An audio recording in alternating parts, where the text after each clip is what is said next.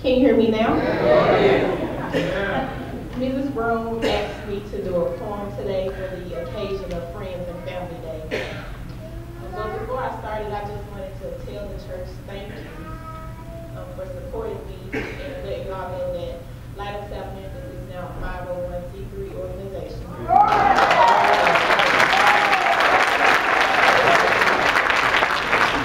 And I also just want to church and thank Reverend Fleming and. Fleming because today is a very special day for me.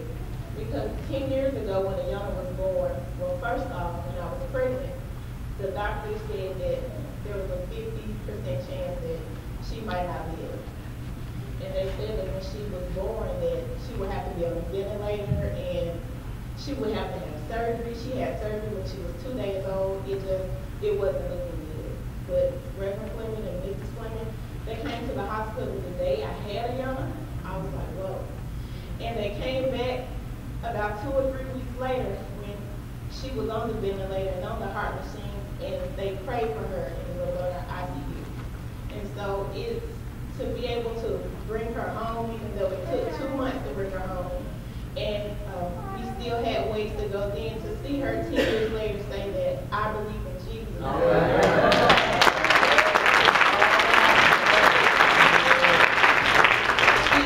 She wants to turn her life over to him. It it just touches me and it lets me know that prayer does work. That the church family is important. And that it's important for us to model the ways because a Ayana loves coming to church. Not just loves coming to church, but loves coming to this church. All the way from Georgia, she said, I can't wait to get back to Morning If I'm going to church with my husband and my mom is coming to Morning View, she's coming with my mom. She wants to come to this church. So I just wanted to start off with saying that.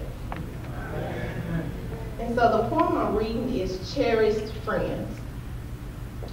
God must have known there would be times we need a word of cheer, someone to praise a triumph or brush away a tear. He must have known we need to share the joy of little things in order to appreciate the happiness life brings.